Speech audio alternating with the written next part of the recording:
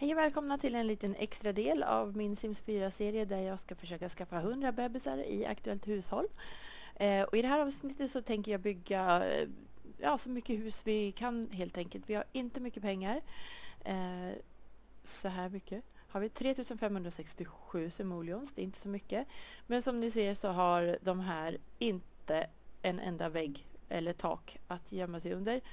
Och eh, alla i hushållet mår till följd av detta helt miserabelt dåligt.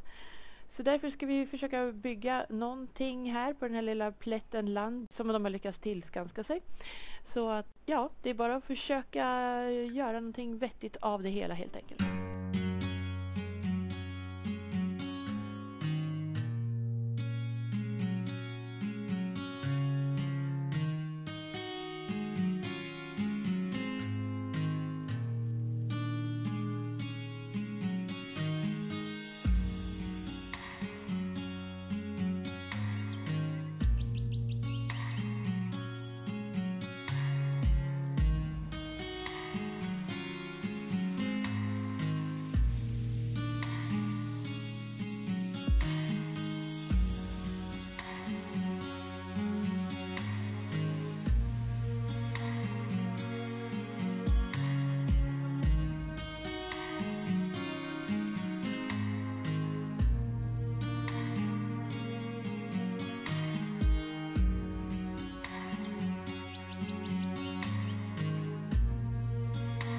Ja men sådär.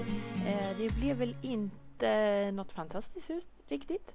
Men det var allt vi hade råd med. vi kan flytta på den här lilla bebisen också. Den kan få stå här.